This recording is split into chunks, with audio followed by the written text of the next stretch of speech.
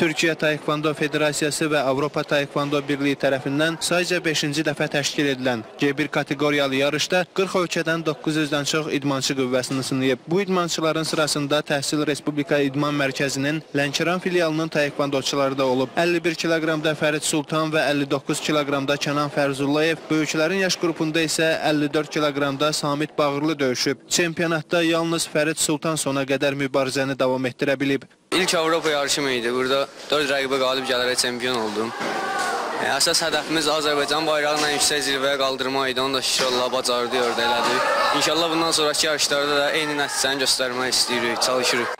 Bundan başqa Təhsil Respublika İdman Mərkəzinin Lənkəran filialının yetirməsi olan və 81 kiloqramda milli komandanın tərkibində döyüşən Ramin Əzizov da rəqiblərinin gücünü yoxlayıb. Böyüklərin yaş qrupunda mübarizə aparan idmançı zədədən sonra inamlı çıxış edərək mükafata layiq yer tutmağa nail olub. Xüsusən Ramin Əzizov üçün əlamətdar bir haldır ki, çünki iki dəfə ayağı qırıldı və e, əməliyyat olunandan sonra bu birinci iki il ərzində bir medalı yox idi. Heç bir turnirdə medalı olmurdu və şükür olsun Allaha ki, artıq bu, bu, bu Avropa çempionatında gümüş medal qazandı.